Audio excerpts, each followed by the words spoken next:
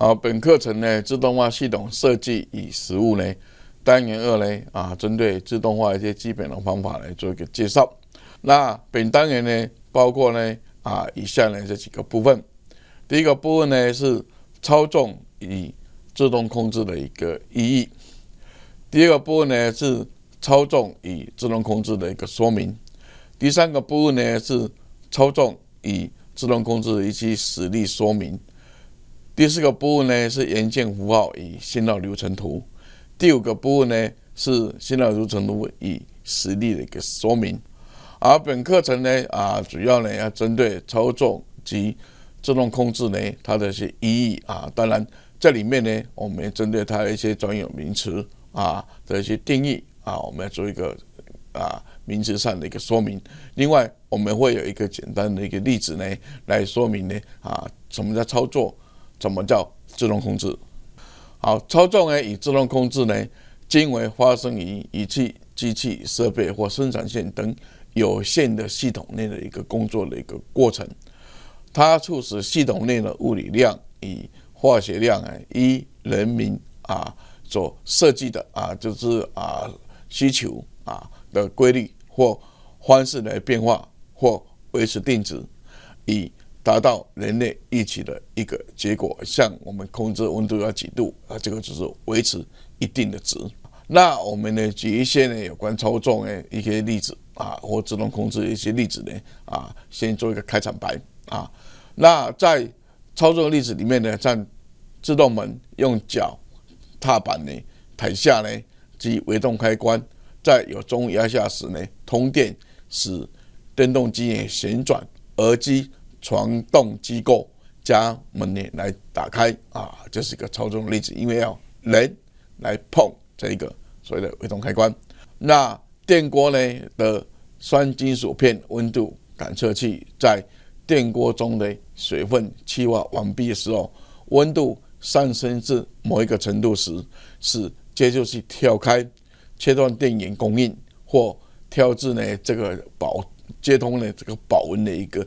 较小的一个电流的一个线路啊，这个也是操作啊，因为你我们电锅大家知道呢，开关呢搬上去，它才会开始做，做完就跳开了。你要再做第二次呢，还要再切换一次啊，也就是说我们要人力去操作它。那自动控制呢一些啊例子啊，像光电晶体在较为弱的照度下接通电源时，电灯亮啊。当照度超过我们设定值时呢，则切断呢电源的时，电灯呢熄灭。这种情形呢，就类似我们那个啊路灯啊路灯哎，类似同样的一个原理。第二个呢啊，自动导向的飞弹发射后，感测目标位置，修正自己的航线啊，追踪呢并击落呢我们呢主要追踪那个目标，这个也是一个自动控制啊。好。那电冰箱呢？里面的温度呢？经由呢温度感测器及控制器的开关呢，来控制它的冷冻机器啊，维持冰箱里面呢，在我们的一个设定的温度附近呢，在做一个冰冻啊。这个呢，也是一个自动控制的一个例子。我们将元件认为是说，我是把它定义成传输元件。一个传输元件既有一个或多个输入量，它传输的也是有可能是一个或多个的一个输出量啊。那操作呢或自动控制的过程中呢，传递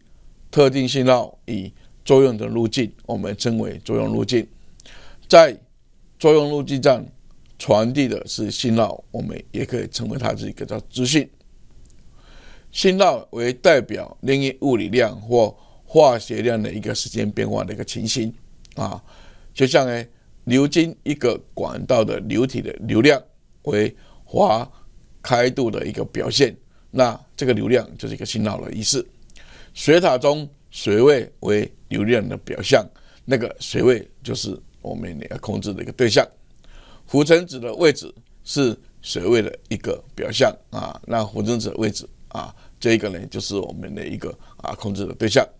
水银开关计啊，水银温度计的水银柱高呢为温度的一个信号啊，就像我们的那个量体温的这个啊，这个温度计呢啊，它是水银的啊，它的高低呢就代表你体内的温度的一个大小。摩斯码呢啊的顺序呢啊为所传递电文的一个信号的一个顺序。转速发电机的输出电压呢为转速的一个信号啊，它对应的就是转速越快呢，电压输出也越大了。感应式位置感测器的输出呢的交流电压为角度位置的一个信号啊，等那角度位置就是一个信号的一个输出。在操作与自动控制时呢，通常都是让组件与设备的部分受我们所希望的方式来影响啊。就比如呢，啊，传动机构的输出转速必须以输入转速呢所希望的比例关系呢下来的运转，也就是说，我们希望它啊五百 rpm，它就一直给我维持五百 rpm 啊，这个是一个比值的一个振动控制。直流马达的转速需不管负荷如何，均保持已知值啊，叫做定值自动控制啊，因为你马达呢有可能驱动的负载是变动的。啊，那我们要控制直流马达的转速为一定，所以它的负载的改变，它要维持一定的一个转速的一个输出啊。当然，负载会影响到它的转速了。热处理机的温度需以每小时升高呢啊，像一百五十度 K 的一个速率上升呢，至五百五十度 C。那维持五百五十度 C 呢三不变，三小时之后。再以每小时升高一百二十度 K 呢的速率呢升高到九百度 C，维持九百度 C 呢不变四小时之后，以每小时五十度 K 的速率呢降至常温，这个呢我们称为叫领导自动控制啊，因为它维持它要根据我们呢规划的一个程序来做啊，这是所谓称为叫领导自动控制。那第四呢，造纸机的卷曲曲的驱动马达的转速。会随以卷起的纸的直径的增大而变慢，因为它一定的拉量，而且马达呢一定要越来越慢，或者它的啊越这个卷纸越厚的时候，它转起来啊，因为整个周边产能变大了，所以量会变大，所以呢，你跟着这个直径越来越大呢，你马达转速变慢才会一定的啊这个子弹的一个速度才能够保持一定。地对空发飞弹呢，在发射后锁定目标，会把目标机而机尾。它是一个跟随的自动控制，也就是说，它把敌机当做它要跟随它的一个目标。单人机先撤销外径两次，再修平面一次，然后修内孔一次，啊后停止，这是顺序控制、顺序操作啊。它就是这样做啊，它也没有回收信号，它就一开始就是这样做一个动作，重复做。空气调节机从上午八时启动，维持室内二十一度 C 不变。那下午五时停止，它是一个定时定时的自动控制啊。那定时就是从八点到下午五点，那定值就是所谓的二十一度 C 啊，这是一个呢维持固定的一个温度的一个控制。在所有的操作或自动控制的组件中，所以影响的物理量或化学量。存在的那一段作用路径或设备称为区间，如属操作，则称为操纵期间；如属自动控制，则称为自动控制期间。在期间中，我们所要影响使它合于所希望的物理量或化学量，我们称为操纵变数或者控制变数。发出操作命令信号或控制命令信号。是期间中的操作变数符合期望值的设备，我们称为叫做控制器。接受控制器的命令的信号为输入，用于控制输往期间的能量流或质量流，以使期间内的控制变数达到所预期的一个设备，称为调整组件或者最终控制元件或者所谓的启动元件。它的输入或输出称为调整量或。调整变数，调整变数的一个最大的变化范围，我们称为调整范围，也就是说可以控制的范围。操纵与自动控制啊，所以影响的物理量或化学量，也就是能物量，我们所期望的设定值称为应有值或参考值，或者叫设定值。例如，当控制变速温度时，维持至二十度 C，或是所谓的我们一般室内都为现在设定都在二十六、二十七度，这个也就是我们所谓的设定值的部分。好，控制误差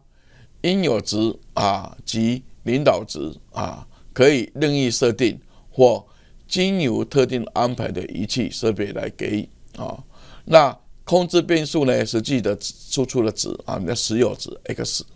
那怎么在控制误差呢？啊，做 S W 会用一来表示，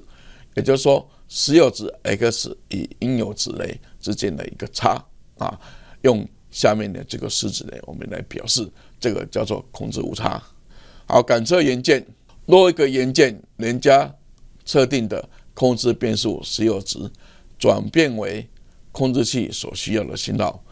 称此元件为感测元件，或叫做感觉器，或叫做检知器啊。因为这个是翻译的问题，一般我们就用感测元件呢比较多了啊。如果感测元件所量度的物理量以它的输出的啊载信号为因式不同，也就单位不同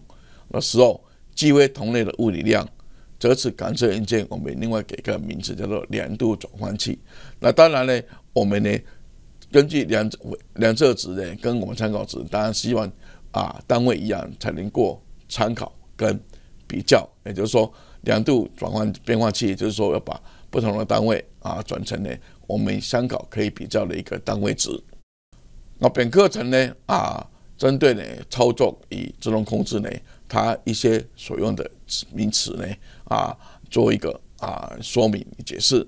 啊。当然呢啊，在这些之前呢。我们呢，先举几个啊操作跟自动控制的例子啊，来说明什么叫做操作，什么叫做自动控制啊，这是我们本课程的一个啊内容的重点。好，谢谢。